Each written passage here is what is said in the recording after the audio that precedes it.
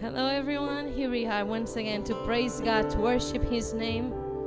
So, I want to read for you what it says in John 14 6 that says, Jesus said to him, I am the way and the truth and the life. Today we celebrate His life. We celebrate because He is risen. We celebrate because His life is within us. So we want to praise you, Jesus, because you are good, because you're alive, Jesus. It's such an amazing gift that you give us.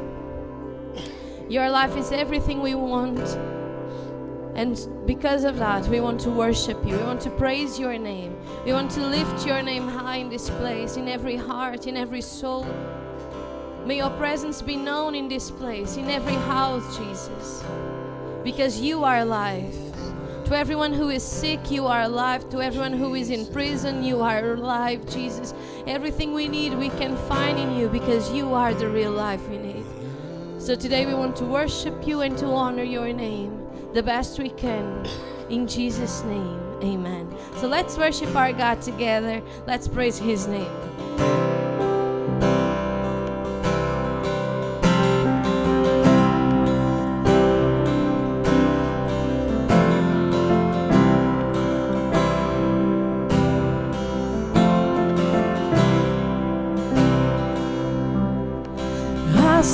The world, but it couldn't fill me. Man's empty praise and treasures that fade are never enough. Then you came along and put me back together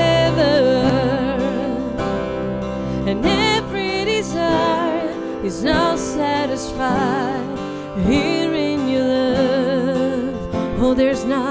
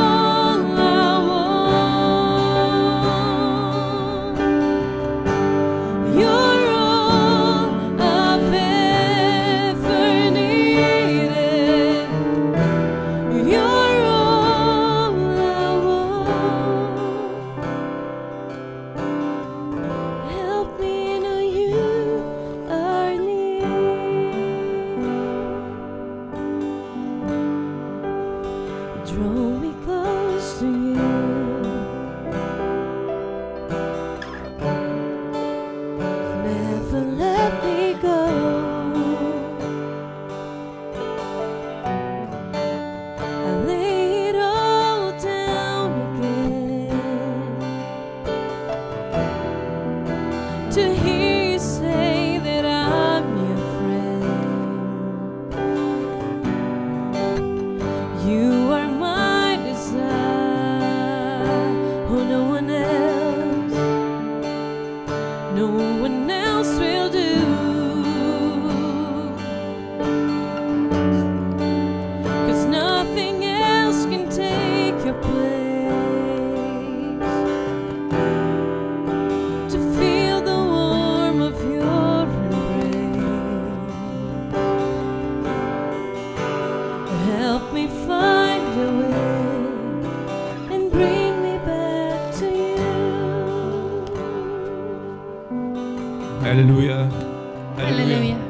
Thank you, Jesus.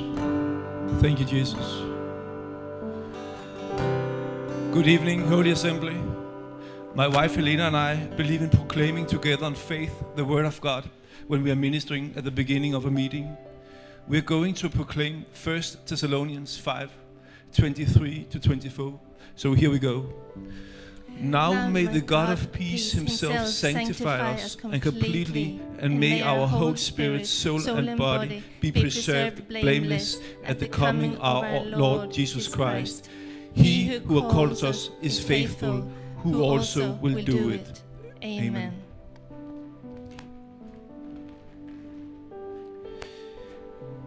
Today we will speak about resurrection. What happens after death? Think it's a question all of us ask ourselves sometimes. But let's pray. Heavenly Father, God Almighty, in Jesus' precious and glorious and beautiful and powerful name, I thank you for this day, Lord. I thank you for every heart that are listening to these words from your word today, Father. We humble ourselves before you as we enter into your glorious presence. Thank you for the touch of heaven that only you can provide. Thank you for the hope. Thank you for the hope that only you can plant into hearts. Thank you for the ability to hear your voice through your spirit, oh God. Help us today to hear your voice. Jesus, we love you. I thank you for everything you have done. Thank you for your blood. Thank you for the cross. It is finished. It is finished. Holy Spirit, move and work. Help me to deliver this message today according to your perfect will. Let your will be done. Let your kingdom come. May every heart be open to receive. Take us from where we are in this moment to where you want us to be, Holy Spirit. We are completely dependent on you. Lead us, guide us, open our hearts, reveal us. Today I ask that these words from your word that they will truly hit the mark. Hit those dry places, those dark places. Everything that need to be revealed, let it come to light today. In the mighty name of Jesus. Amen.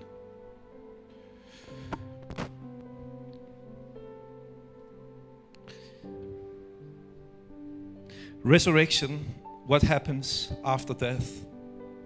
What happens after death? I think it's a question everybody can ask. It doesn't matter where you're from, nature, where you're from, even cultures, nature, languages, nations. Everybody asks themselves this question. Doesn't have to be a special belief system. Maybe you have thought about it in relation to the Word of God. Maybe you have not. The Bible is very clear about it because God's own Word explained it to us. And we will dive deeper into it today the resurrection of the death. It's a reminder for all of us, and it may be new to others. I want to start by repeating Paul's words in 1 Corinthians 15 19. If in this life only we have hope in Christ, we are of all men most miserable. I repeat it. If in this life only we have hope in Christ, we are of all men most miserable. It's, it says a lot about where our, our focus should be. This is for those who are in Christ but still live according to their own flesh, relying on their own understanding or their own reasonings. It could be human philosophy or just the spirit of this fallen world. So, Paul, he spends a lot of time explaining what we really live for, and that is eternity that is at stake. First of all, we need to understand the meaning of the word resurrection. What does it really mean? We have to go back to the original language to really get the right understanding of it. So we go back to the Greek word, and it means to stand up out of. It means to stand up out of. So resurrection is standing up out of death and out of the grave. In 1 Thessalonians 5 23 to 24, we just read in our proclamation, we saw that man consists of three elements it is spirit, soul, and body. And it is important to understand that it is the body that dies, and it's the body that will be resurrected. Because the spirit and soul never need to be resurrected. The spirit and soul never need to be resurrected because they have never passed into death. So we are talking about the resurrection of the body. I will read from Luke 16, 19, from verse 19. There was a rich man who was dressed in purple and fine linen and lived in luxury every day. At his gate was, uh, sorry, at his gate was laid a beggar named Lazarus, covered with sores and longing to eat what fell from the rich man's table. Even the dogs came and licked his sores. The time came, came when the beggar died, and the angels carried him to Abraham's side. The rich man also died and was buried.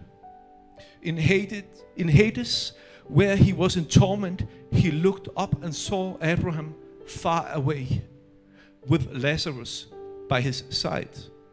So he called to him, Father Abraham, have pity on me and send Lazarus to dip the tip of his finger in water and cool my tongue because I am in agony or pain in this fire. But Abraham replied, Son, remember that in your lifetime you received your good things while Lazarus received bad things. But now he is comforted here and you are in agony. And besides all this, between us and you, a great chasm has been set in place, so that those who want to go from here to you cannot, nor can anyone, anyone cross over from there to us. He answered, Then I beg you, Father, send Lazarus to my family, for I have five brothers. Let him warn them warn them so that they will not also come to this place of torment. Abraham replied, They have Moses and the prophets. Let them listen to them. No, Father Abraham, he said. But if someone from the dead go to them, they will repent. He said to him, If they do not listen to Moses and the prophets, they will not be convinced even if someone rises from the dead. And that's true. Even when Jesus rose from the dead, those who didn't believe in Moses and the prophets didn't recognize what had happened. Someone supernatural proof and set their own proud standards and say, if so and so happens, then I believe. But God says, You have my word. That's all you need. If you believe and obey, it will carry you through. It is enough. However, there are certain very, very important features that this history points to that we should notice and hopefully understand and be revealed for. First of all, there was the same personality after death. There was the same personality after death. The rich man was still the rich man, and Lazarus was still this poor guy. It was still Lazarus. Same identity, if you want. In this history, it was related to mammon, money. None of them lost their identity. Because I have heard from many people that they say that everything just disappears after death and there is nothing left. It's not according to scripture. This story it tells us, tells us something different. We continue in the same personality after death that we lived in this life. We talked last time, last Sunday, we talked about our character. We talked about our Christ like identity. That's why it's so important to turn to Jesus Christ in this life. That there is an urgency. Scripture, many places say again and again, today, today, repent. And then, secondly, they could recognize each other. They could recognize each other. The rich man recognized Lazarus, and he recognized Abraham as well. And Lazarus recognized the rich man. And thirdly, there was this memory of life on earth. They did remember everything. Both the rich man and Lazarus, they could remember their circumstances. It wasn't forgotten. No, absolutely not. And number four, there was a consciousness of their present condition. It was really, really alive. They were absolutely awake. The rich man was in torment it says that his tongue was burning with fire. Lazarus was in comfort and peace in Abraham's bosom. And the last, there was a complete separation between the righteous and the unrighteous. Each of them had a specific place, and you could not just cross over. No, it was they were set apart from each other. So when people, for example, nowadays talk about and say, rest in peace to everybody, regardless of faith, regardless of deeds, it is man's thoughts and hopes without God. Scripture says something completely different. Many people want it all without God. They want to have it all without Jesus. It is absolutely impossible according to the Word of God. So, this is what Scripture shows from this story. I will briefly, I will briefly say it again. Number one, they had the very same personality, no loss of identity. Number two, memory of people. Number three, memory of life on earth. Number four, a clear awareness. And number five, there was a complete separation between the righteous and the unrighteous. And, and many people ask, but what happened to those who died before Jesus himself? and, and before he, di- he died and rose from the, from the dead. Jesus' death and resurrection created a change in the entire universe and in mankind. It was the most important event in history of the entire universe. And it affected what happened to those who died. That specific event split human into two. And the fate of souls before and after Jesus' death and resurrection is not the same. Let's dive into what happened before Jesus' death. We have just seen in this story of the rich man and Lazarus that all souls that pass away they go to a place called Sheol in Hebrew. In Greek, it is called Hades. The Greek word Hades, it means the invisible world. So everyone, whether righteous or unrighteous, entered the invisible realm called Hades or Sheol. It was the place for the souls of the of the departed. But there were two completely separated areas for the righteous and for the unrighteous.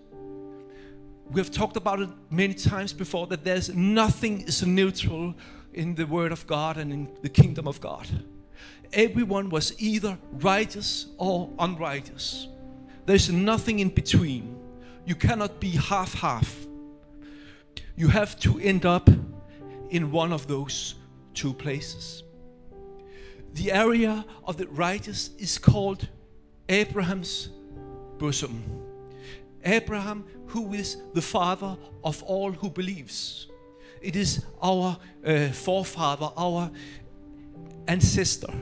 And he welcomed them there and comforted them. What happened when Jesus went to Hades? What happened to Jesus when he died? It's a good question, isn't it? Because Jesus, he was 100% human and he was 100% God. But he also, as a human, he had a spirit, a soul, and a body. And there are different statement, statements about each of these three elements of Jesus' personality. Talking about his spirit, his spirit was commended to the Father. In Luke 23 46, it says, When Jesus had cried out with a loud voice, he said, Father, into your hands I commend my spirit. And having said this, he breathed his last. What happened to the soul of Jesus then? In Acts 2, when speaking on the day of Pentecost, Peter he quoted Psalm as an experience of Jesus and not of David the psalmist. And he says, David spoke here in Psalm 16, 8 to 11 concerning Jesus, and he says these words I foresaw the Lord always before my face, for he is at my right hand, that I may not be shaken. Therefore my heart rejoiced and my tongue was glad. Moreover, my flesh will also rest in hope, because you will not leave my soul in Hades. So the soul of Jesus went down into the realm of departed spirits. And in 1 Peter 3 18 19, it says, For Christ also suffered once for sins, the just for the unjust, that he might bring us to God, being put to death in the flesh, but made alive by the Spirit, by whom also he went and preached to the spirits in prison, who formerly were disobedient when once the long suffering of God waited in the days of Noah. So Jesus went down into Hades. But the body of Jesus was laid into the, to- the tomb. In John 19 40, then they took the body of Jesus and bowed it in strips of linen with the spices, as the custom of the Jews is to bury. They would wrap a body in strips of linen, but they would include a great quantity of spices because the body would be expected to decompose and to give out a stench. Now, the place where he was crucified, there was a garden, and in the garden there was a new tomb in which no one had yet been laid. So they laid so there they led Jesus. And then after the resurrection of Jesus, the apostles and the, uh, the women went to the tomb. They all knew where his body had been buried, but they didn't find him. Praise God. Hallelujah. So, what happened to the total personality of Jesus? The Bible says that he committed his spirit to the fa- Father, his soul descended into Hades, his body was laid in the tomb. But when he rose, his total personality was again united. He was a complete person spirit, soul, and body. So, what happened with Jesus' death and resur- resurrection affected the whole universe. It also determined the fate of the souls at death. But since Jesus' resurrection onwards, the destiny of the righteous is not to go to Hades. No, it has a different and much better, a more glorious destiny. Since the, the resurrection, our souls have a dif- different destiny. For example, when they stoned Stephen and he was at the point of death, I don't want to read it all, I think it will be too long. But at the essence is, and they stoned Stephen as he was calling on God and saying, Lord Jesus, receive my spirit. So he knew that the spirit was to go directly to Jesus now. So, this is the change that has taken place. This is the, the, the, change that has taken place because of the death and resurrection of Jesus. Right? This is important for those who have been cleansed in the blood of Jesus, been born, and born again, and live faithfully for God. The destiny at death is for the Spirit to ascend directly to Jesus. Paul, he also says in Philippians 1 23, 24, For I am hard pressed between the two, having a desire to depart and be with Christ, which is far better. Nevertheless, to remain in the flesh is more needful for you. So, Paul, he was also completely confident that if at that time he died, he would be with Christ. That is one great change affected by the death and resurrection of Jesus. Another thing that happened is that the departed souls of the righteous who were in the bosom of Abraham, they were released Let's read Ephesians 4. And this is quoting Psalm 68, and it's speaking about the resurrection of Jesus. Ephesians 4 8 says, Therefore, when he ascended on high, he led captivity captive and gave gifts to men. I believe that he led captivity captive was that he released the souls of the departed righteous and took them with him up to heaven. Because they couldn't be set free until the penalty for sin actually had been paid. Jesus' sacrifice on that cross. God accepted them as righteous. But after he sacrificed, himself, he went down into Hades. And at some point, he took them with him. That's the way I think it is. That's the way I believe it. They had been captives of sin and death, but he took the captivity captive.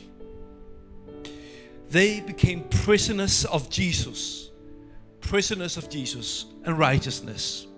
Jesus took captivity uh, captive. And the next thing that is very, very important is this the resurrection of Jesus is the guarantee of our resurrection. That is, if we are, of course, born again, completely committed to Jesus. First Col- uh, Colossians 4:18. And he is the head of the body, the church. He is the beginning and the firstborn from among the dead, so that in everything he might have the supremacy. So he is the firstborn from death. He is the head of a total new creation. He is the head of the body. He is the firstborn from the dead. And he and the resurrection is compared to a, a bird out of death. In a natural birth, the head it comes first, and then the rest of the body. It's going, the rest of the body will continue, it will follow. And so the resurrection of Jesus, it's the same principle. It's a guarantee that his body, you and I, that are born again, will follow him in resurrection. Paul says in Philippians 3 20 to 21 For our citizenship is in heaven. For those who have been born again, we live on earth still. We are even citizen, citizens of a country here on earth, and we have a passport here on earth, but our real citizenship it is in heaven. Our passport it is the blood of Jesus. That is what really counts. Eternity. And it continues. Our citizenship is in heaven, from which we also eagerly wait for the Savior, the Lord Jesus Christ. And then it says, Who will transform our lowly body that it may be conformed to his glorious body, according to the working by which he is able even to subdue all things to himself. The original translation actually talks about our body of humiliation. Have you ever thought about that? Your body of humiliation. What do I mean with that? He will transform our body of humiliation. That's the, uh, the correct translation. So that it can be molded into the body of His glory. Have you ever considered that we live in a body of humiliation? We have been humbled because of sin. No matter how wealthy we are, no matter how worthy or healthy or whatever we may believe of ourselves or think about ourselves, we live in a sinner's body. And there are certain facts about the body you and I live in then that constantly remind us that we are sinners. You can eat the best food in the world and the best drink the best wine, but it all has to come out. If you are nervous, if you uh, uh, if you do exercise, you will sweat. No matter how worthy you are, no matter how well educated you are in your life or how high you are in life, there is a humiliating body you are in. In 1 John 3, John says this Beloved, now we are children of God, and it has not yet been revealed what we shall be. In other words, we haven't yet seen the kind of body that we are going to have. But we know that when He is revealed, we shall be like Him. For we shall see Him as He is. Then He is, when He is revealed and we see Him, our body will be changed into the likeness of His body. And the next verse is very important. 1 John 3 3. And everyone who has this hope in him, meaning Jesus, purifies himself just as he is pure. So if you are really hoping for the resurrection and you are really hoping that it, is something that you are doing, then scriptures says that you are actually purifying yourself. This is supernatural. And what does it mean? It means Jesus. He is our standard. Just as he is pure, the scripture says. And what is the standard of purity? Jesus. Just as he is pure. So if you, so if you and I really are looking forward to the resurrection, there must be some kind of evidence because if we are really looking forward to the resu- re- resurrection, we will seek to make ourselves more and more poor, more and more holy, make new decisions in life. The, we change ourselves, our language, our language is new, the way we think, the conversations we have. We will look at Jesus and we will be more like him. That is what we inside in our souls, in our spirit, in our heart. That is what we really want. We are a new creation. We are a transformed creation. If you are not really looking forward, I have to say that you are probably just using religious language.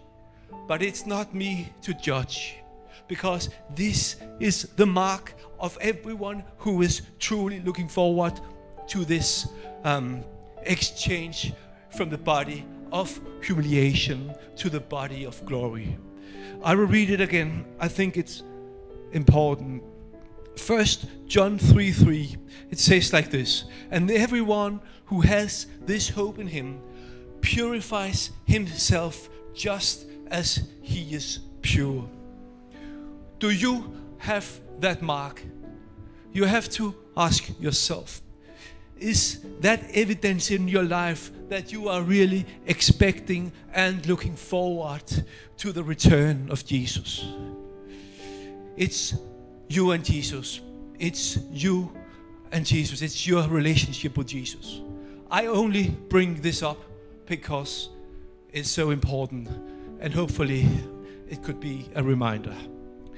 Our body will be like His, scripture says. And how was it like? There were no limitations. He could, for example, ascend to heaven and back again down to earth, appearing uh, a long distance walk through um, enclosed spaces, to and from and through walls. You can't put him into boxes for what's possible in your worldly mind. Also, according to scripture, I believe that we will have a similar kind of body. And what will our resurrection bodies be like? Yeah, I described it just a little bit here. It will still have marks at our lives. I will give you some examples. It was um, Jesus, he was very careful to emphasize or point out that when he rose, it was the same body that had been crucified. We will look in Luke 24. The disciples were all scared when he first appeared. They could not really believe what had happened. But Jesus said to them in Luke 24 38 and 39, and he said to them, Why are you troubled? And why do doubts arise in your hearts? See my hands and my feet, that it is I myself. Touch me and see, for a spirit does not have flesh and bones as you see that I have. And then in John 20, there is another record of the resurrection of Jesus. It says, He stood in the midst and said to them, Peace be with you. Now, when he had said this, he showed them his hands and his side. And why did he do this? To show them it was the same body that they had seen crucified, right? It was the very same body. So when you get resurrected, you are not going to have a new body. No, you are going to have a different body, but it will be the same body, just changed. Maybe you remember Thomas. He wasn't there when it happened, and Thomas said, Well, I will not believe unless I can see his hands and side and put my hand into his side. And later Jesus appeared again and he said to Thomas, Reach, reach your finger here and look at my hands, and reach your hands here and put it into my side. In other words, the wound was still such that Thomas could put his hand into it. So you are not going to have a new body. No, you're going to have a different body, but it will be the same body, just changed. Okay? Also, 1 Corinthians 15 35 to 38 answer this question what our re- resurrected bodies will be like. It says, But someone will ask, How are the dead raised? With what kind of body will they come? How foolish. What you sow does not come to life unless it dies. When you sow, you do not plant a body that will be but just a seed, perhaps of wheat or of something else. But God gives it a body as He has determined. And to each kind of seed, He gives its own body. So your body is sown in burial into the ground as a seed. The same body will come forth, but a totally different kind of body. It means that you will be the same, but there will be an enormous supernatural transformation or change. Hallelujah. What you sow determines what comes up, but nevertheless, what comes up is completely different. It's completely different from what was sown. It is really the same.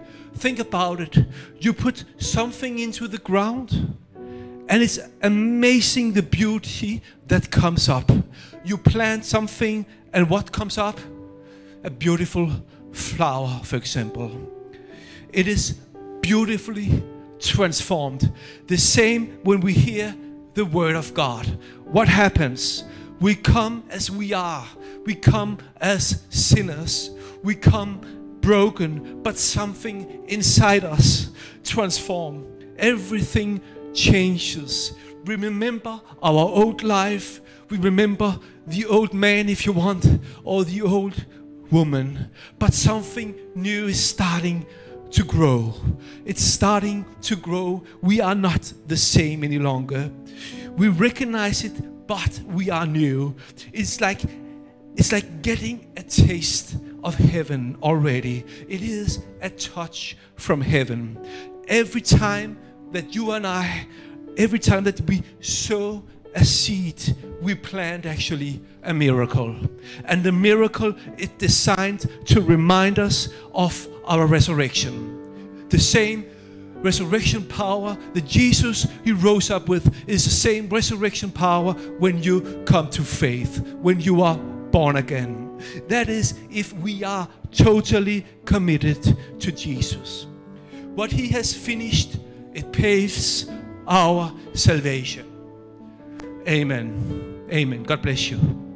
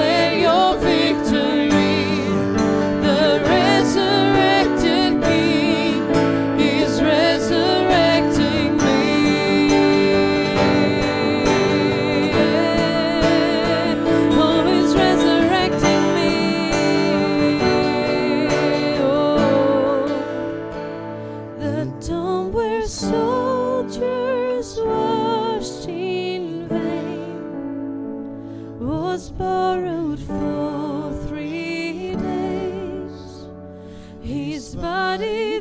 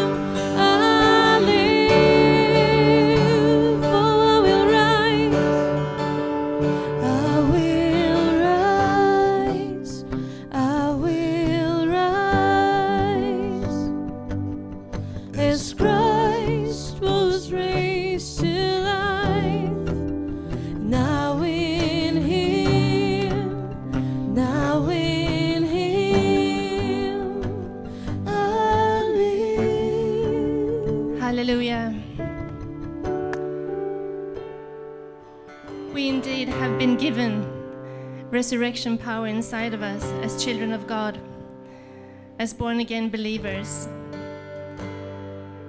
We are indeed blessed. Have the word touched your heart today? The word that we have shared? If you are not yet a child of God, what I would like to ask you is Are you willing to accept that you are a sinner? Have you thought of accepting God as your Lord and Savior? Will you allow Him to take your sins upon Himself? He died for all of us, and He took all of our sins on the cross. But the question is are you willing to accept His sacrifice? Are you willing to make Him the Lord and Savior of your life? God wants to give you life, and not only life, He wants to give you abundant life. Like it says in John 10:10, 10, the enemy only comes to steal, kill, and destroy. But Jesus came to give us life and life more abundantly.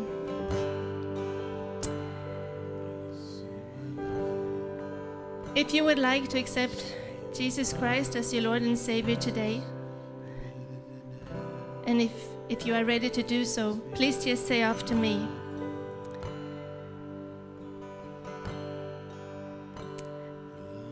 Dear Lord Jesus Christ, I know that I'm a sinner. I ask you to forgive my sins. Today I will turn from my sins, and by faith I will gratefully receive your gift of salvation and be born again. I believe that you are the Son of God who came to earth in the flesh, who died on the cross for my sins and was raised from the dead on the third day by God. I confess with my mouth that you are Lord and Savior, that your words are true, and I invite you into my heart and into my life. I believe that you took my sin, guilt, and shame on the cross. I believe that you redeemed me. You redeemed me from going to hell. And you have given me a place in heaven.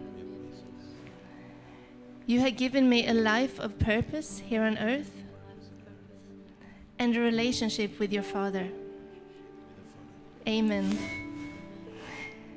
If you said this prayer today, we would love to welcome you into the family of God as a new child of God. And if you if you would like to, you're more than welcome to send us a text message. Simply write "I have decided" and send it to this Portuguese number plus three five one nine six two one nine five five five five. We would love to celebrate with you, but we would also like to give you some free resources. We hope to hear from you. God bless you. Have a wonderful week. Thank you.